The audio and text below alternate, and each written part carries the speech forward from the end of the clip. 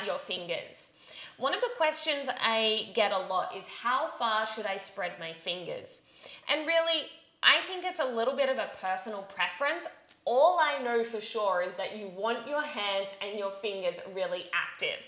So I don't think you necessarily need to be trying to like spread the biggest difference from your uh, distance from your thumb to your pinky. You're not trying to play an octave or spread an octave on a keyboard, right?